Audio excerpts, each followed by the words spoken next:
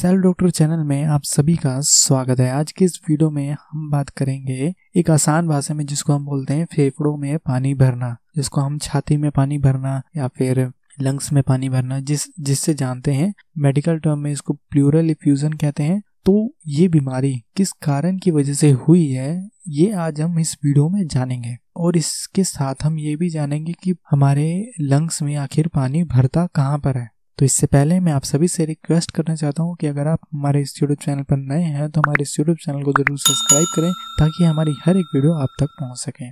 तो फ़र्स्ट हम जानते हैं कि हमारे लंग्स में पानी आखिर भरता कहाँ पर है।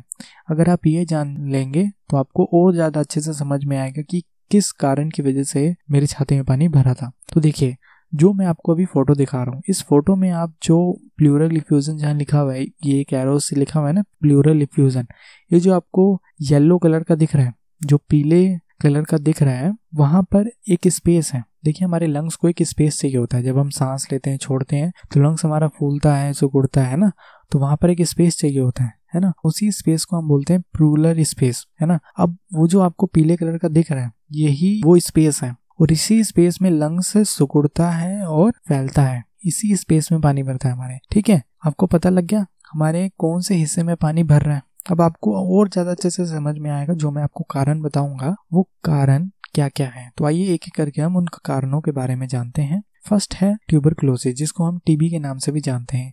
ट्यूबरक्लोसिस में हमारे छाती में पीले कलर का जो फ्लूड है, वो भरता है। अगर आपके छाती में से पीले कलर का फ्लूड निकलता है, येलो कलर का तो वो ट्यूबरक्लोसिस की वजह से आपके छाती में पानी भरा था।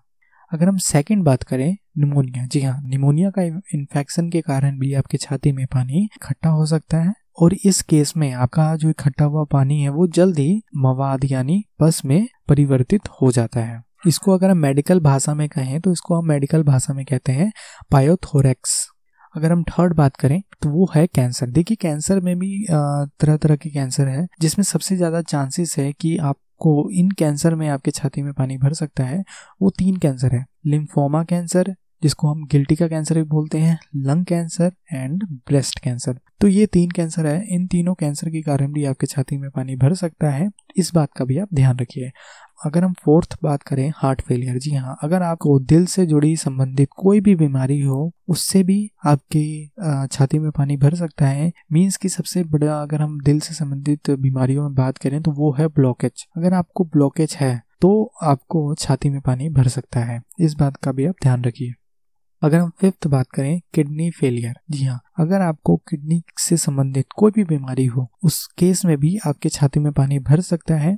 अगर हम सिक्स बात करें एसाइटिस फ्लूड जी हाँ ये एक बीमारी है जिसमें आपके लीवर खराब होने से ही बीमारी आपको होती है। अगर आपको लीवर से संबंधित कोई भी प्रॉब्लम है, उस केस में भी आपको छाती में पानी भर सकता है। अगर हम सेवंथ बात करें एक्सीडेंट जी हाँ अगर आपको चोट लग जाए वहाँ पर, अगर साइड में चोट लग जाए, वहाँ पर लीकेज हो जाए आपके टिश्यू सेल्स फट जाए, उस केस में भी आपके छाती में पानी भर सकता है।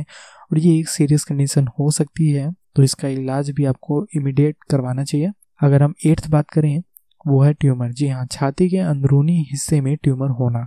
इस केस में भी आपको छाती में पानी भर सकता है। तो मैंने ये आपको आठ कारण बताया इसमें है tuberculosis pneumonia cancer heart failure kidney failure ascites accident tumour जितने मैंने आपको कारण बताए तो ये कुछ बड़े कारण थे।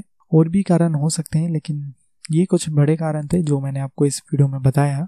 अगर आप कुछ भी इन कारणों के बारे में पूछना चाहते हैं तो आप मुझे कमेंट कर सकते हैं, या फिर आप मेरे फेसबुक पेज पर जाकर मुझसे बात कर सकते हैं।